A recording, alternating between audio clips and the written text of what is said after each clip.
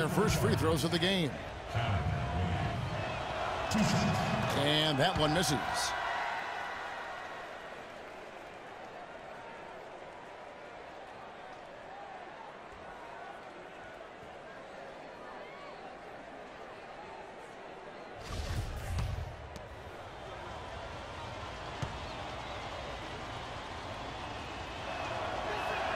No good on the second free throw.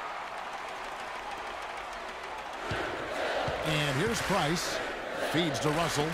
Pass to Payton. Louisville passing it around. Pass to Price. Trying his luck deep. The shot misses. So the Badgers will take it the other way. On the court for Louisville. Freak. He's in at three. Thomas is out there with Payton. Then it's Russell. And it's Price in at the one spot. They get it again. Fisher. Just couldn't take the lid off. They had their chances, but came up empty. You know, one of the big questions on everybody's mind in this game is whether or not Freak will stay on for another year or go pro. I mean, usually a player with his upside would be a lock to be a one and done, but he's giving serious thought to staying. And Freak is a guy who clearly values the scholastic aspect of collegiate sports. So it makes sense for him to think about staying beyond this season. Still, with Freak's draft stock rising, this could be his final game as a collegiate player. Perfect screen there. Set him up with a terrific look. Yeah, I like the fact that the setup was good, the screen was solid, but you also have to look at the fact the defender didn't do his job as well as he could have. Now here's Freak. From past the arc. Score the basket is third after five shots.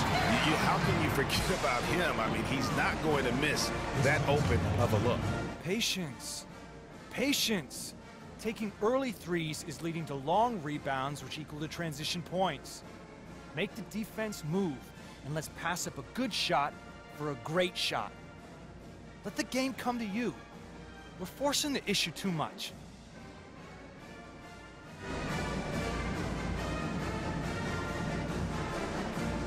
And it's a completely new group for the Cardinals. Here is Hawkins.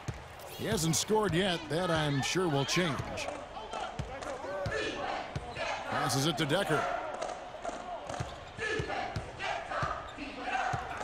132 left in the first half of basketball.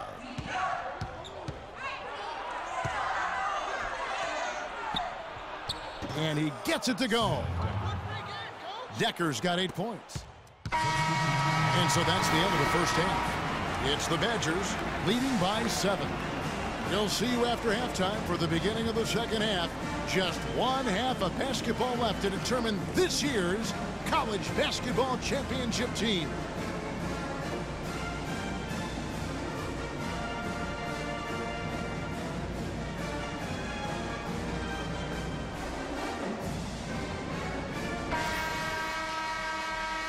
And the big game is just about ready to get going for our second half of play. What a championship atmosphere we've got here tonight. We are just one half of basketball away from seeing college basketball history being made. And in a championship game like this one, guys, you would have expected a close battle. I don't think either side is going to be able to run away and hide in this one. And Greg, tight games like this are where legends are born. I mean, if a player like Freak can come up huge in this final half of play, he'll anchor himself in school history as one of the greats to ever play the game. And Wisconsin looking at who they've got. We've got Hawkins. He's out there with Hill. Dekker is out there with Kaminsky. And it's Evans in at the four. Now here is Hill. He kicks to Kaminsky.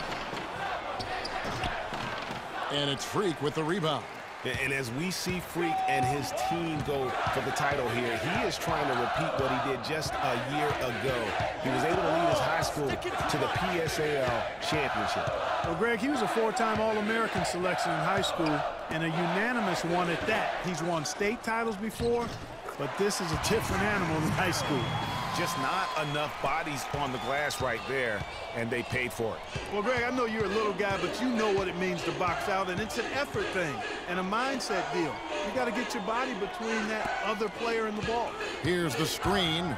Here's Hill, and it's blocked. And so it looks like the Badgers will retain possession here. Early, he's checked in for the Cardinals. Price comes in for Ogier. The Badgers making a switch here.